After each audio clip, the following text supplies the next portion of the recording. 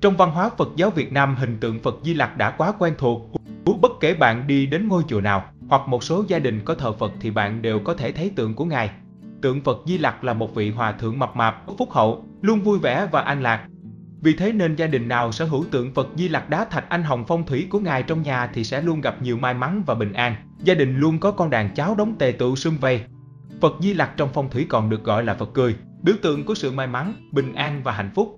Nụ cười quan hỷ, tích cực trên gương mặt là điểm nổi bật nhất khi nhìn vào tượng Phật Di Lặc. Mỗi khi nhìn vào nụ cười đó, chúng ta sẽ cảm nhận được sự thanh thản, bình yên trong tâm hồn.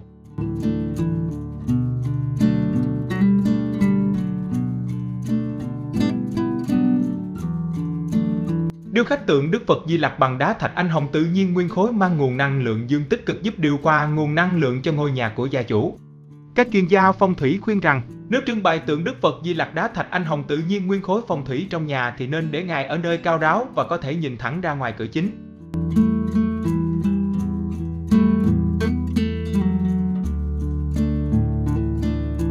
Ở vị trí này, ngài có thể nhìn thấy toàn bộ căn nhà, vì thế sẽ biến toàn bộ năng lượng xấu trong nhà thành năng lượng tốt.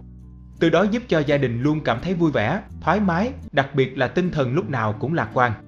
Ngoài ra, đối với những người làm việc văn phòng, công việc thường có áp lực lớn thì bạn có thể đặt tượng Đức Phật Di Lặc đá thạch anh hồng ở nơi làm việc.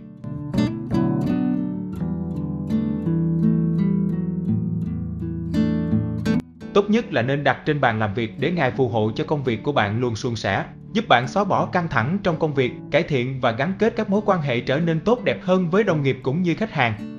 Đặc biệt, gia chủ cũng có thể đặt ngài ở phòng khách hoặc phòng lễ tân, nơi thường tiếp khách khứa để gia tăng tài lộc. Vật phẩm phong thủy này được làm từ đá bán quý.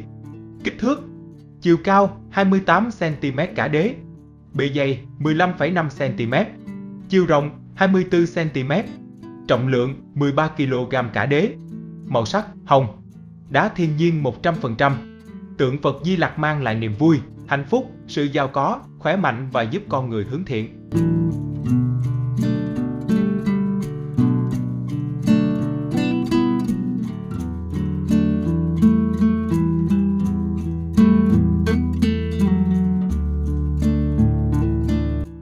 Việc thờ Phật tại gia từ lâu đã trở thành một phong tục quen thuộc của các tín đồ phong thủy.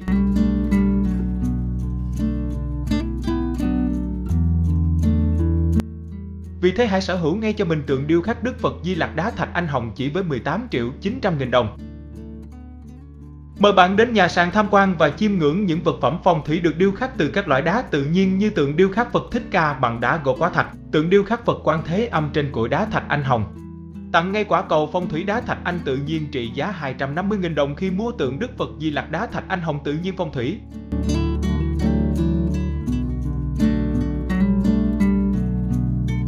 Đá chọn người, nếu bạn thấy thích và có duyên với vật phẩm phong thủy này thì hãy mua nó nhé, vì nó chỉ có một.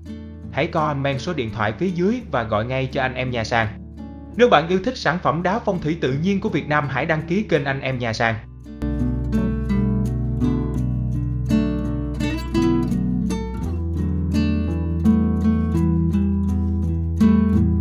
bạn ngày mới năng lượng, vui vẻ.